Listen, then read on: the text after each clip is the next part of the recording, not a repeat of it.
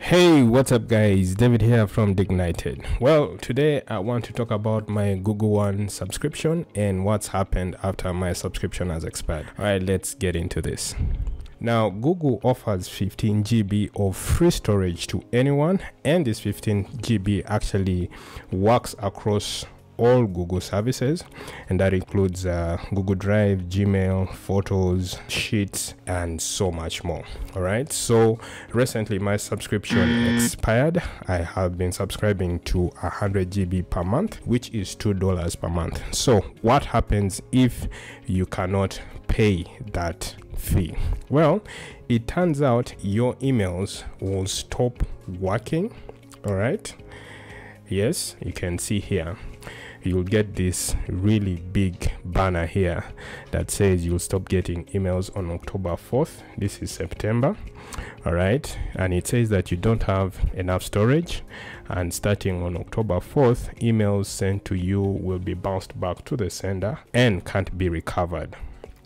And of course, you have two options either to get more storage, which is actually to enable your subscription or renew your subscription, or to clean up space here.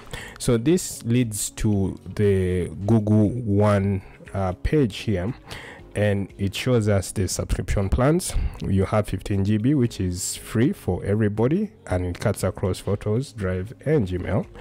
Then you have the basic plan which is 100 GB and it is about two dollars per month all right? And then you have the standard which is 200 GB and that is about three dollars per month here. And then of course you have premium which is 2 TB here. Right. So it says your uh, membership is temporarily paused and it gives you the option now to update your payment method so what happens if I actually don't renew my subscription? Well, it turns out that you lose access to additional storage that comes with your Google One plan and your account reverts back to the 15 GB free storage shared across Drive, Photos and Gmail, right? So for me, I think I cannot go back anymore because uh, I have my photos there. I can't say I need to free up space, although there is that option. When you click on manage storage here, there is the option where you can start deleting like big files or photos or you know emails with attachments and so forth. And you can see from my storage audit here. I'm currently using 60 GB of storage, and that cuts across uh, Drive, which is 14 GB, Gmail, which is 12 and photos i think which is taking the biggest at about 35 gb so from here if you want to free up say photos uh, you can just click on this okay? And yeah of course it goes to google photos and now you can probably just look at some of the uh, photos that are taking up the biggest space here. And you have trash maybe you can empty trash or something right?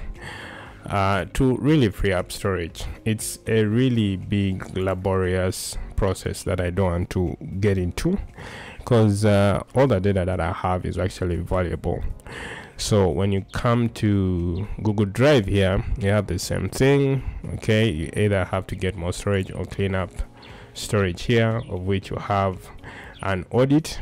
And yes uh, my spam emails are 8 GB. Uh, well, large photos and videos are 14, and then large files. So you can click on review here to see the large files, and maybe, maybe you can now start deleting some of the files if you think they're not that important. Otherwise, if you don't do this, primarily three services are going to be affected if you exceed the free 15 GB storage limit and that is one gmail. You won't be able to send or receive emails. And i have up to 4th october before that actually happens. Two is google drive.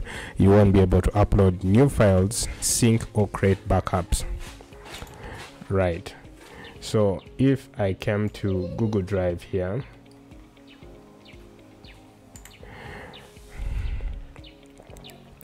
and I said up uh, maybe create a new file it says storage is full new documents cannot be created right?